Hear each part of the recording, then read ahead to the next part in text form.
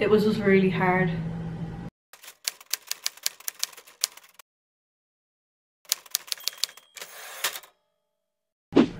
Hi, so it's been a few days since I last put a video out.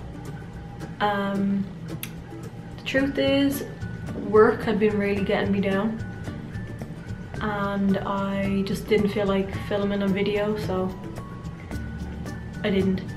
It was just really hard for a few days um, because of certain people that worked there.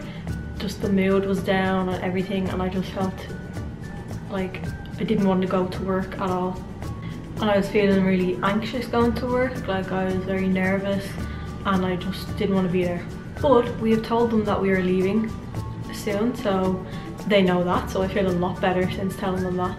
Yeah, we only have a few more shifts to get through, so I'm a lot happier now because I'm not really trying to prove anything to certain people that work there, so yeah, that's why there was no video. Um, just took a few days off, I just didn't feel like filming anything.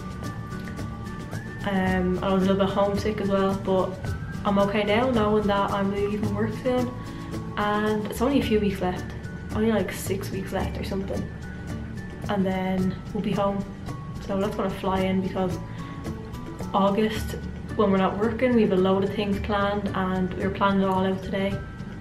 I'm excited for it, it's gonna be fun.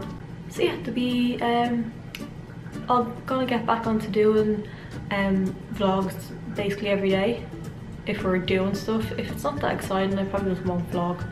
I tried to do that or else I might make a video like this. I don't know. Yeah, I don't know if I'll vlog tomorrow because we are in work like for 12 hours tomorrow, so our whole day is work. But yeah, so I'll see you in the next video.